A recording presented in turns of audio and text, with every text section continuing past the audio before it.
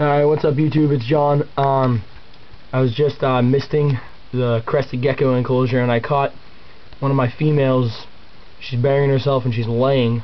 Um, so I just kind of wanted to take a shot of her in the action, I guess. Um, we won't see the eggs for another probably 15 to 20 minutes, and my guess maybe up upwards to an hour, depending.